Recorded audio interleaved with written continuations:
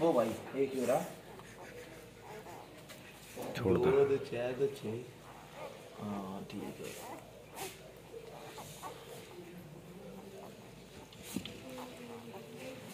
बुढ़ाई क्या? अच्छा वो सही बोलिया